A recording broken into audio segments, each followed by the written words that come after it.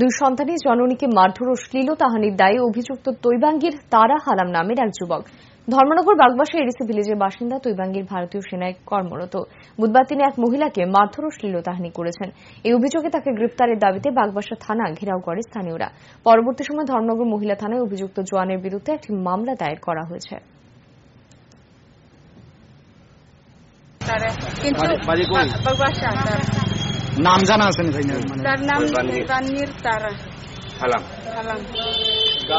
কি মানে কোন মানে ইয়েতে কাজ করে? বিএসএফ এ কাজ কি করে? আর্মিতে থানাতে কি আপনার মামলা করছেন? থানাতে করছে।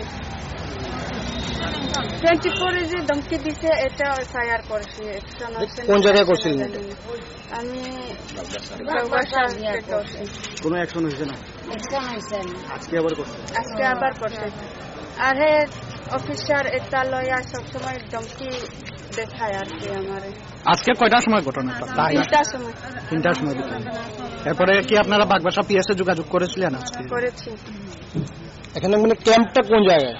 তার চিন্তা আমরা জানি না। এই ছুটিতে আসি। এখানে কি বাসা এখানে? কি চাইছেন আপনারা এখন? চাই আমরা।